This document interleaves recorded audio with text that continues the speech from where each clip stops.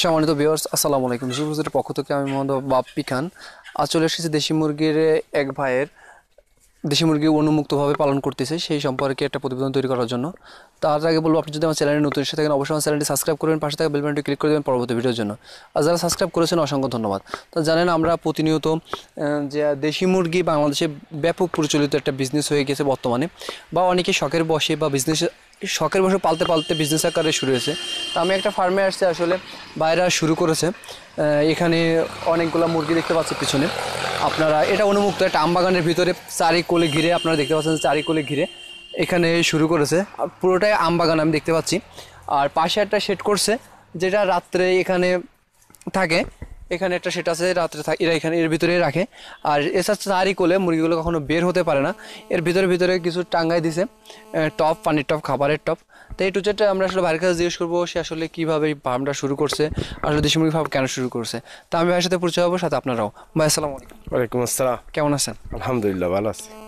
আপনার এই ফার্মটা সরি আপনার এর নামটা আর একটু আপনার অ্যাড্রেস আমার নাম নজরুল ইসলাম বাচ্চু বাড়ি আফরা। আমি হ্যাঁ নড়াইল। ভিতর আমরা শেখাটি ইউনিয়ন নড়াইল থানা। থানা।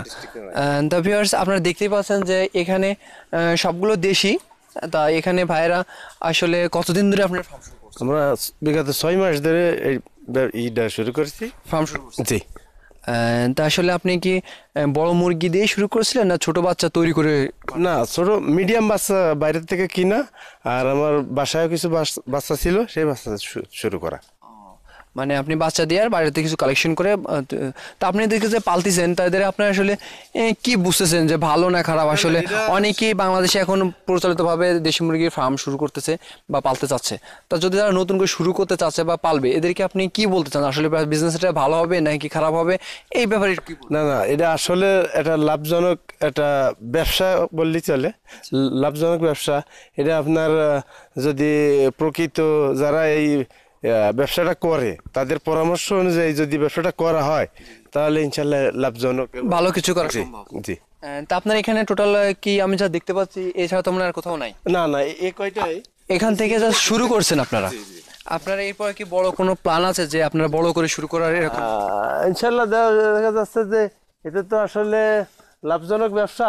তো যদি বড় আকারে করা যায় তাহলে ইনশাল্লাহ বড় করে শুরু করবেন। জি তা আপনারা এখন আপনারা পা- মানে পার ডিম কিরা দিচ্ছে এখন বর্তমানে? তো সব অ্যাডাল্ট দেখতেছি আমি। না ডিম আস ডিম দেশে আর কি দুই একটা দেয় ওই দুই একটা খাওয়ার কাজ চলে আর কি। আপাতত খাওয়ার কাজ চলছে। তো আপনি মানে এদের থেকে প্রসেসিং মানে বাচ্চা যখন উৎপাদন করেন তখন কি এদেরকে বসায় উৎপাদন করেন না আপনাদের মেশিন আছে?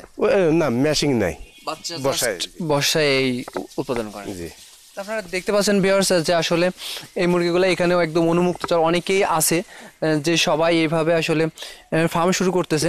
তা আসলে আপনারা যারা শুরু করতে চান, আমি একদম সরাসরি ভাইয়ের ফার্মের ভিতরে ঢুকে যে টামবাগানের ভিতরে বাইরা ফার্ম শুরু করেছে, আপনারা দেখতে পাচ্ছেন মুরগিগুলো দিক দিয়ে দৌড়ি করতেছে, কারণ আমরা ভিতরে ঢুকছি। আর একটা বাগানের এর আগে একটা মানে আমি নিজেই গেছিলাম একটা লিচু বাগান তারা শুরু করছে যে কোনো জায়গায় আসলে আপনারা ইচ্ছা করলে শুরু করতে পারেন। তবে এদেরকে আপনি যদি বলি যে ওষুধপাতি আপনারা কীভাবে খান ভ্যাকসিন কোনো ইউজ করেন কি না ভ্যাকসিন বলতে আছে যে আপনার আমরা নড়াইল থেকে কিছু ওষুধ আনছিল একবার মুরগির জ্বর হয়েছিল। তা সেই ওষুধ আইনে মোটামুটি খাওয়ানোর পরে মোটামুটি সুস্থ ছিল। জি। মানে এমনি আপনারা কন্টিনিউ ভ্যাকসিন ট্যাকসিন কোনো ইউজ করেন? না এইগুলো আমরা ইউজ করি না হ্যাঁ। মানে এখন দেখা যাচ্ছে যে অন্যরা যারা মানে অন্যান্য ফার্মিং এ যেরকম সোনালি বয়লার যারা পালে ওরা খুব কেয়ারফুলে করে। এদের এতটা আপনারা কেয়ার করেন? অত কেয়ারফুল না জাস্ট বাড়ির ভিতর করা তো। এই যে মতো উড়া থাকে, এদের মতো উড়ায় তার উঠান। খাতির দিয়ে আর উঠায় বেঁচে ইয়ের সকালবেলা খুলে দিয়ে খাতির দিয়ে এটাই এটাই যাকে মানে একদম ন্যাচারাল ভাবে তৈরি করা এদেরকে। আর এখান থেকে যাক ভালো ভালো লাগল এখানে এসে। দ্য ভিউয়ার্স আসলে বলব যারা দেশি মুরগির ফার্ম শুরু করতে চান বা যে কোনো ফার্ম শুরু করতে চান অবশ্যই বলব যে আপনারা শুরু করেন। আমি প্রো ফার্মটা দেখালাম দেখেন ইনাদের এই পাশে একটাও হয়তো এখানে আগে রাখতো এই খুবিটা একটু দেখানোর চেষ্টা করি আমি। এখানে একটা খুবই দেখতে পাচ্ছেন হয়তো প্রথমে এটা আগে থেকে শুরু করছিল ওইখানে রাখতো এখন ওটা ধরে না বলে পরে এই বড় ফায়ার শেডটা তৈরি করছে আপনারা দেখতে পাচ্ছেন। এই শেডের ভিতরে এনারা মুরগি রাখে। রাতের বেলায়, আর সারাদিন এখানেই সব পুরো বাগানটাতে ওরা ঘুরে ফিরে বেড়াচ্ছে। দেখেন মুরগিগুলো ওই মাথার দিকে চলে গেছে, আমি একটু দেখানোর চেষ্টা করতেছি।